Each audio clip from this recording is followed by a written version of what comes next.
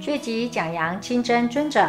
聚集讲阳清真尊者是三世多杰羌佛的弟子中实显正量的弟子，为萨迦派大善人波切，鹤法童颜，银须过度，眉间天眼化现，修得全身呈半透明状，引见三脉五轮，实乃与天同寿之身，于空中飞行，来去自如。在接受三世多杰羌佛的圣意内密灌顶金瓶测签时，头花于限量大圆满坛城。佛陀上师传以狮子金刚法，限量大圆满至高大法，当下正得宏深圆满境。